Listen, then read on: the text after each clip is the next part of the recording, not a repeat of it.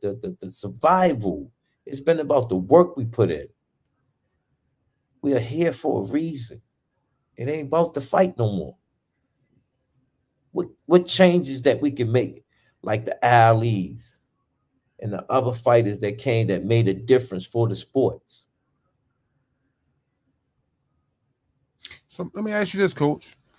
When we did that interview in the office, he was looking for something. In life, he was looking for something. They always looking for something at that age. And, and, he, and he said something he wanted to do, but he he did it, but he did it in a different a different direction. When he took his shahada, first because he was talking about getting baptized, and then then then Well, with with with that, did he find what he was looking for? The day when we was talking, I said, take them back. Sometimes you can look at your leader and see your leader going this way Mm-hmm.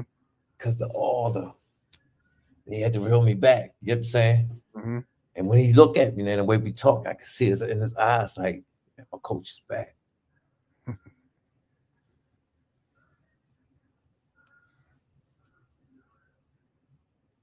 You understand that drive that got us there.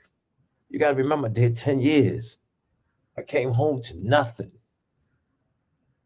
To nothing. Everything I had, anything I went through, I compressed it. And I came home, and as you start grinding, you start seeing your goals. It's like you you think you made it. And that day when I walked in the gym, all day I stayed in the gym, didn't go nowhere.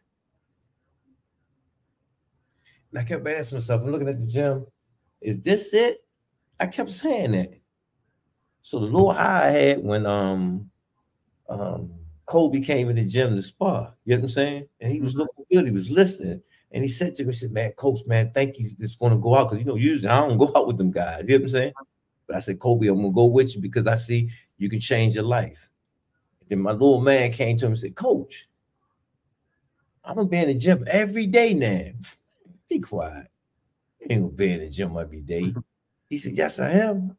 He said, I quit football. I said, Yeah, I see. And as I'm walking out the door, he said, Man, I love you, coach. Then Kenny stopped me. He said, Yo, you know the police been watching your car all day? I said, They my personal bodyguards, man. They out there all the time. Mm-hmm. and that quick, I get locked up.